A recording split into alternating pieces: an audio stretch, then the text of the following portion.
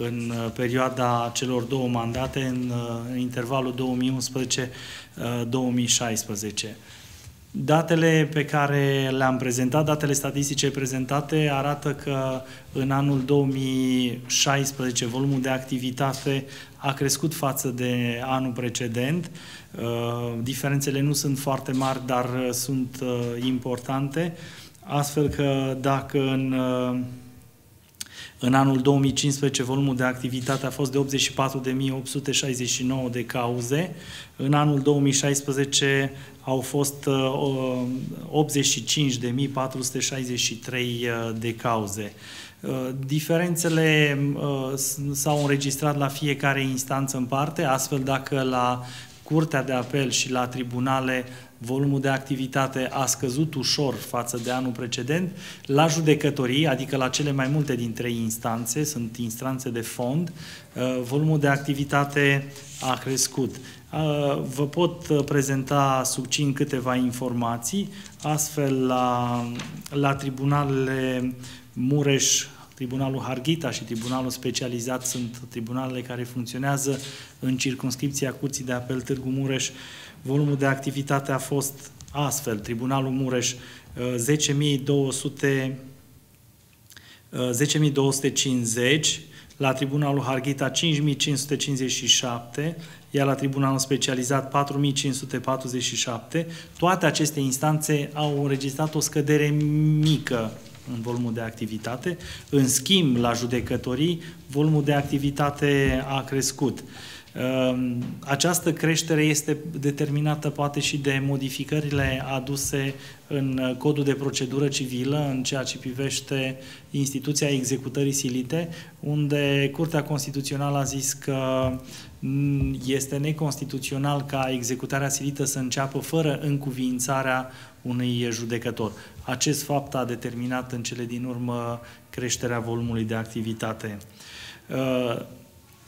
Uh, această, uh, această poziționare a datelor statistice în ceea ce privește volumul de activitate a determinat creșterea unor indicatori privind performanțele uh, instanței. Uh, și pentru prima dată de când uh, sunt implementați indicatorii de eficiență, Curtea de Apel Târgu Mureș a reușit să aibă un indicator general de performanță de foarte bine. Asta înseamnă că a reușit să aibă o rată de soluționare uh, de peste 100%, stocul de dosare mai vechi de un an să fie mic, ponderea dosarelor soluționate într-un, uh, într-un an să fie uh, de asemenea foarte mare de 98,7%. Acum, în broșurile pe care le-am prezentat sunt o serie de, de date statistice și în măsura în care veți dori informații suplimentare, eu vi le voi oferi. În ceea ce privește resursele umane, pentru că noi nu putem vorbi de performanțe, de realizarea unor performanțe, fără să discutăm de resursele care ne-au fost alocate. În privința resurselor umane, ce vă pot spune că în uh, finalul anului trecut uh, s-a modificat schema de personal și au fost uh, alocate posturi noi de judecători și de grefieri, dar din păcate nu am reușit să, să avem toate posturile ocupate. Ocuparea posturilor de judecător cade în sarcina Consiliului Superior Magistraturii, care organizează concursuri periodice, uh, iar pentru personalul auxiliar, uh, demersurile pe care le-am început încă de la momentul în care am avut uh, suplimentarea schemei de personal urmează să fie finalizate în, în sfârșitul lunii martie, începutul lunii aprilie. Cea mai mare vulnerabilitate în ceea ce privește resursele materiale pentru Curtea de Apel și instanțele arondate o reprezintă faptul că sunt multe instanțe care nu au ocupate funcțiile de conducere. Sunt 5 din totalul de 13, 5 instanțe care uh, nu au președinte în funcție, patru dintre ele uh, au președinți cu delegație, dar ei nu au un mandat de trei ani, așa cum uh, prevede legea, ci sunt doar delegați pentru șase luni de zile. Una dintre instanțe, e vorba de judecătoria Târnăveni, nu are nici măcar judecător delegat, pentru că niciunul dintre judecătorii care funcționează acolo nu îndeplinește condițiile de vechime pentru a ocupa funcția de conducere. Asta e o mare problemă, pentru că administrativ o instanță este mult mai bine condusă când are uh, președinte. Uh, da, este vorba de judecătoria Toplița, judecătoria uh, Miercurea Ciuc, judecătoria Odorheiu Secuiesc și judecătoria Sighișoara. Sunt cele patru celelalte instanțe care au uh, președinte doar cu delegație pentru șase luni de zile. Uh, cauzele acestor, uh, uh, cauzele neocupării acestor posturi sunt multiple. De cele mai multe ori, uh, neocuparea funcției de conducere este determinată de numărul mic al personalului în instanță. Dădeam cu titlul de exemplu Târnăveniu, care deși are un număr să zic așa, suficient de personal, adică de judecători, niciunul dintre judecătorii care funcționează la acea instanță nu ocupă, nu îndeplinește condițiile de vechime pentru ocuparea postului. O situație ceva mai dificilă se află la instanțele din județul Harghita. Aceste instanțe, nu e un secret, nu sunt foarte atractive pentru judecătorii care uh, dau examen de admitere sau judecătorii care absolvă Institutul Național de Magistratură. Acolo uh, posturile sunt foarte greu de ocupat și dădeam ca exemple din uh, cele uh, cinci instanțe, trei sunt în județul Harghita. Uh, Toplița, uh, Odorhei Secuiesc și Miercurea Ciuc. Toate aceste instanțe au un deficit de personal, nu au uh, suficient judecători, deși uh, schema și finanțarea există. Dar o și mai mare problemă este la Tribunalul Harghita, unde din 17 posturi, câte are această instanță, 17 posturi de judecător, sunt ocupate doar 11 posturi. E un deficit uh, enorm și le face foarte dificilă îndeplinirea uh, sarcinii de către, de către ceilalți uh, colegi. În privința, în, în privința personalului auxiliar, cea mai mare vulnerabilitate o reprezintă uh, vacantarea temporară a posturilor. Acum, probabil că știți, probabil că ați văzut, cea mai mare, cel mai mare număr de grefieri care funcționează în instanță sunt femei. Bărbați sunt într-o, într-o proporție de sub 5%. Ei bine, multe dintre ele sunt, uh, sunt persoane tinere și evident că își doresc să aibă copii. Uh, pe perioada în care uh, este pe, pe, pe perioada în care uh, colegele noastre sunt uh, uh, însărcinate și până când nasc, uh, multe dintre ele lipsesc din motive medicale și pe această perioadă nici măcar nu pot fi înlocuite cu, cu alți grefieri uh, veniți din afară doar numai după ce sunt suspendate din funcție ca urmare a intrării în concediu de creștere a copilului, doar uh, după această dată se poate organiza un concurs și pot ocupa uh, funcția pe perioadă determinată. În privința resurselor uh, materiale, anul trecut a fost un an destul de bun, s-au putut asigura dotarea cu calculatoare a întregului personal auxiliar din cadrul curții de, cal, curții de apel. E vorba de calculatoare noi. Până acum aveam calculatoare achiziționate de Ministerul Justiției din 2006. Erau învechite, depășite. Uh, s-au uh, mai achiziționat uh, multifuncționale și calculatoare început, la începutul acestui an, astfel încât până, până la mijlocul acestui an, sau cel mai târziu până la sfârșitul acestui an, toate, uh, toți judecătorii să aibă calculatoare noi.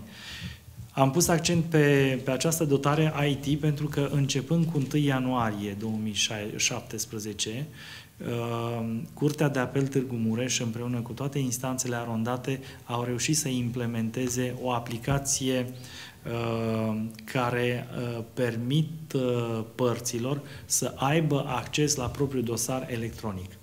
fiecare dintre părți primește odată cu citația o parolă care permite, cu ajutorul căreia uh, reușește să intre pe un site, Curtea de Apel Târgu Mureș, unde își pot uh, vedea documentele din dosar, fără să trebuiască să mai vină la instanță. E un ajutor uh, foarte mare dat părților, dar și avocaților care nu mai sunt nevoiți să să vină neapărat la arhivă pentru a putea studia dosarele.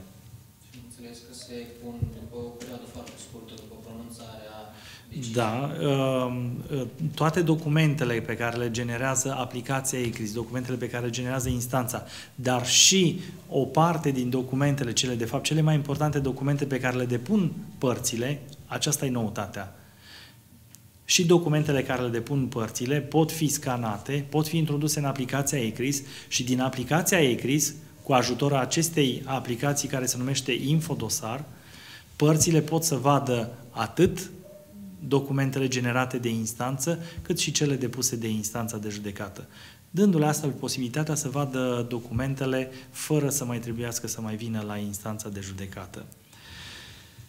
La finalul bilanțului din acest an am uh, încercat să fac un bilanț pe toată perioada în care mi-am exercitat mandatul de, de președinte și uh, am încercat să, să subliniez ceea ce am reușit să, să facem împreună cu colegii mei, împreună cu cei de la Departamentul Economic și dacă nu, și dacă nu greșesc, chiar și cu sprijinul Ministerului Justiției. Am uh, amintit astfel faptul că am reușit să reorganizăm Uh, spațiu de la parter eliberat de către parchetul uh, de către parchete în anul 2011 și tot din acel an am demarat procedura de reparații capitale și extinderea clădirii. Știu că e un proiect foarte vechi și care a trecut prin multe uh, prin multe filtre și cu foarte multe bariere și chiar astăzi am primit, un, am primit informația că procedura de atribuirea proiectării și a executării lucrării uh, a fost finalizată. Asta uh, mă face să gândesc că uh, până la mijlocul acestui an va trebui să, să plecăm într-o nouă locație și să dăm posibilitatea câștigătorului acestei lucrări să facă lucrările de reparații și de extindere. Nu știu dacă mai țineți minte, dar uh, prin 2012, când am făcut pentru prima dată prezentarea acestui proiect, vorbeam atunci de o extindere, de realizarea unui corp nou de clădire unde să se amenajeze birouri pentru judecători, uh, iar în clădirea existentă vor fi înlocuite sistemele de încălzire, uh, sistemul electric, sistemul de alimentare cu apă, pardoserile, practic o reparație capitală care va crește foarte mult confortul în această instanță, va crește numărul de săli de judecată și, de ce nu, până la urmă ne va da posibilitatea să ne desfășurăm ă, activitatea în condiții mult, ă, mult mai bune. Am, am amintit de asemenea în bilanțul pe care l-am făcut pe perioada celor două mandate pe care le-am exercitat despre lucrările de reparații capitale reușite și realizate la cele două judecătorii Sighișoara și judecătoria Gheorgheni, am amintit apoi despre uh, demararea procedurii de realizare a unui sediu nou la Luduș.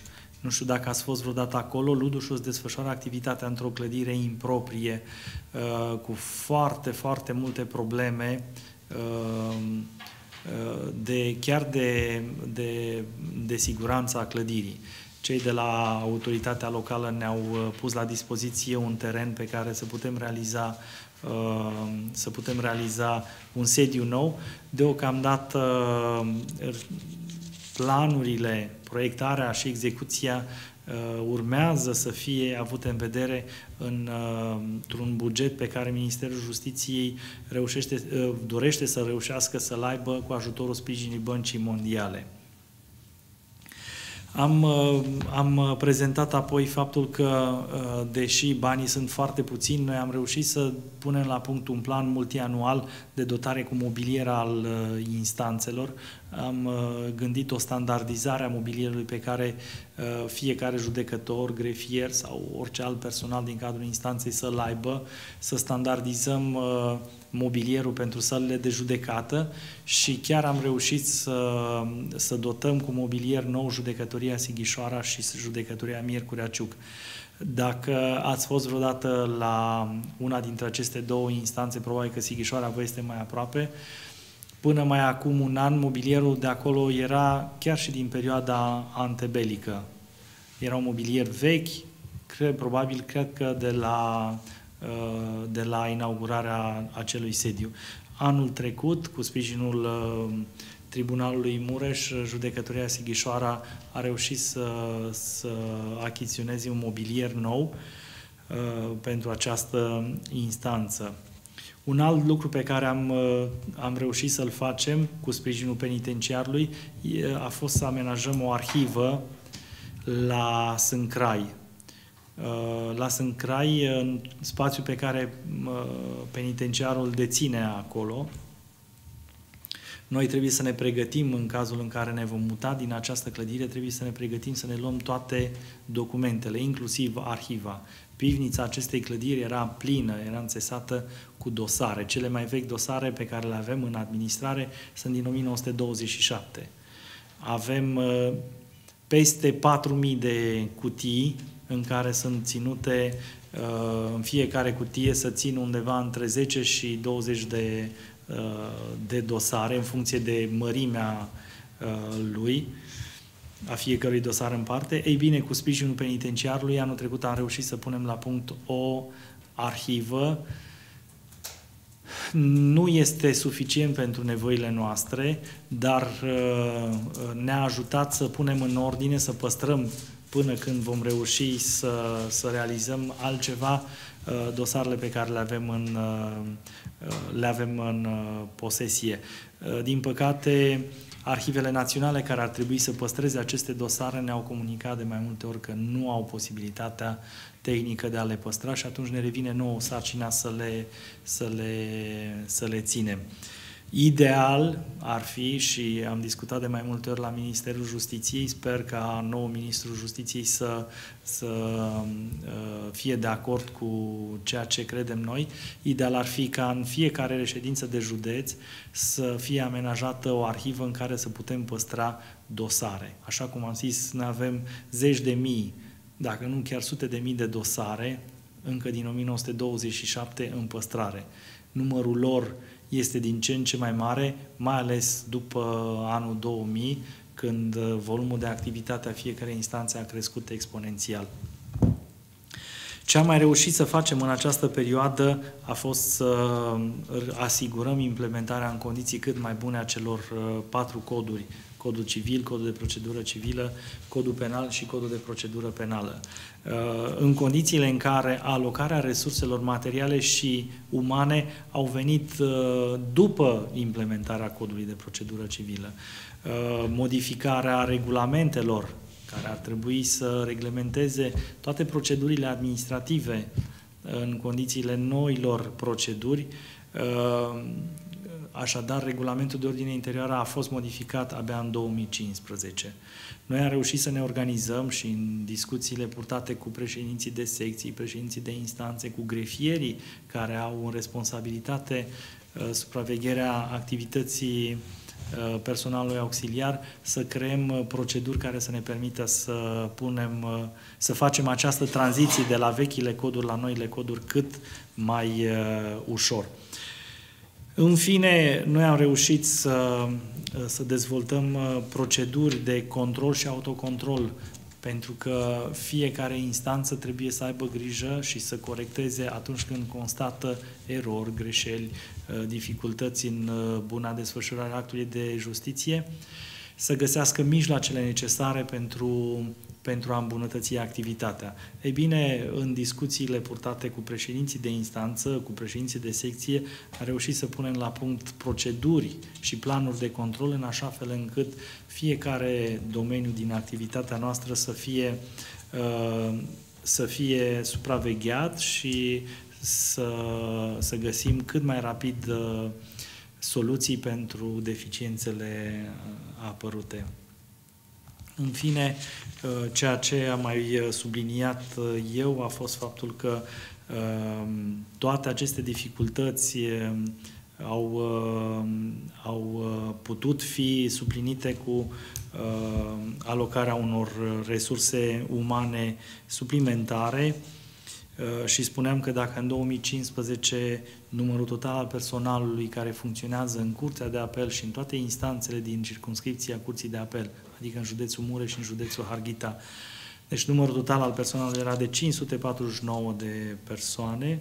În 2016 acesta a crescut la 572, aproape cu 30 de, de, de posturi, judecători în primul rând și personal uh, auxiliar. Cam astea au fost uh, lucrurile pe care le-am prezentat astăzi în bilanț, uh, încercând să, să arătăm unde suntem și ce am uh, făcut pentru a fi aici și, de ce nu, chiar am încercat să vedem ce ar trebui schimbat pentru ca lucrurile să funcționeze mai bine. Vă rog.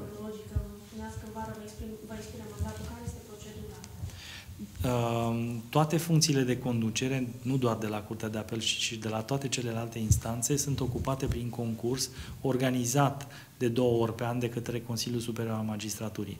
Toți judecătorii care îndeplinesc condițiile de vechime pot uh, participa la concurs. Se organizează un concurs în care sunt testate cunoștințele teoretice și practice din domeniul managementului, dar și a legislației specifice și cel care are nota cea mai mare ocupă funcția de președinte. Și când va fi concursul? Concursul se va organiza uh, în această primăvară. El se finalizează de obicei, încă nu a fost anunțat uh, concursul, dar se finalizează undeva în luna iunie-iulie. Cam, cam așa ar fi din experiența anilor trecuți. La sfârșitul, an, la sfârșitul anului, pentru că bilanțul se referea pe 2016, la sfârșitul anului erau 27 de posturi vacante, din care 8 de grefieri și 18 uh, nu, uh, și uh, 19, 8 de grefieri și 19 de judecători.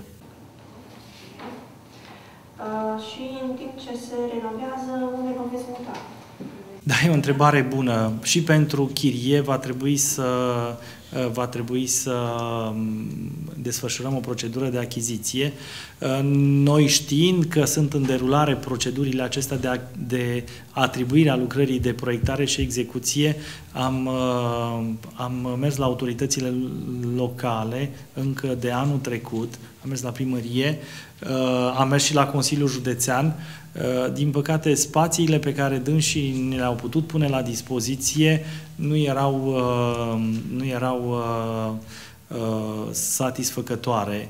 Nu reușeau să asigure nici ca volum, nici ca amplasament și nici măcar ca desfășurarea spațiului ceea ce este necesar pentru o instanță de judecată.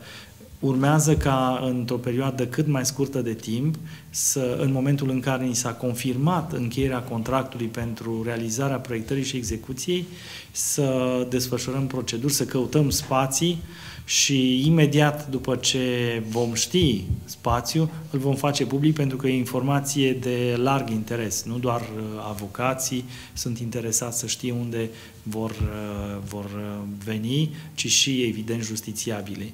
Trebuie să căutăm un spațiu care să permită și un acces facil pentru toți justițiabili. Ne dăm seama că uh, nu doar uh, clădirea în sine e importantă, ci și amplasamentul, căile de acces, de ce nu locurile de parcare pentru, pentru cei care vin în această clădire.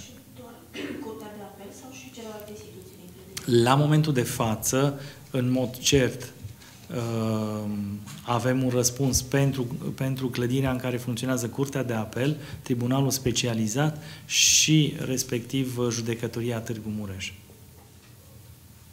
Auzisem anul trecut un zvon uh, pe tema asta legat de internatul liceului de chimie. Da, una dintre locațiile pe care le-am, uh, le-am vizitat cu bunăvoința uh, celor din primărie a fost liceul de chimie. Internatul este insuficient, nou ni s-a prezentat ca posibilă locație liceul de chimie. Ori acolo este o locație în care nu s-a mai întâmplat nimic din 2003.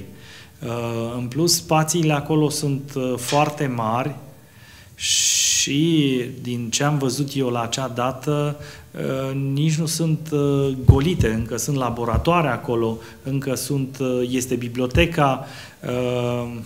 E un loc pe care, din ce am văzut noi,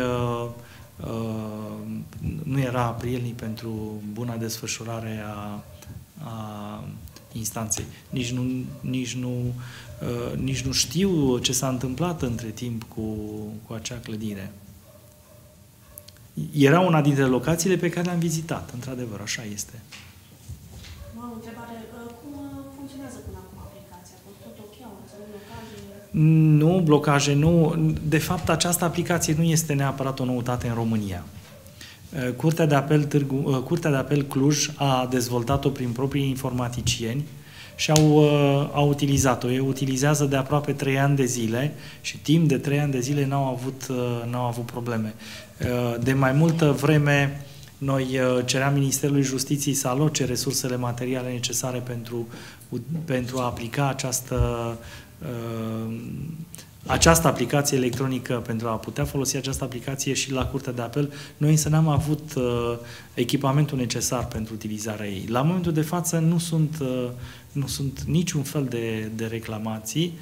Noi facem benevol, nu există nicio obligație din partea noastră, dar tocmai noi credem că prin această aplicație dăm posibilitatea justițiabililor să le ușurăm uh, accesul la, la dosarul pe care îl au la instanțele noastre. În decursul celor două mandate, care a fost cea mai mare problemă sau provocare cu care v-ați confruntat uh. și pe care ați și soluționat? Păi cred că cea mai mare problemă a fost alocarea resursei financiare pentru realizarea acestei, uh, acestei investiții. Uh, e cea mai mare provocare uh, pentru că depindea foarte puțin de mine și trebuia să conving pe cei care aveau resursa financiară să aloce banii necesari pentru această investiție.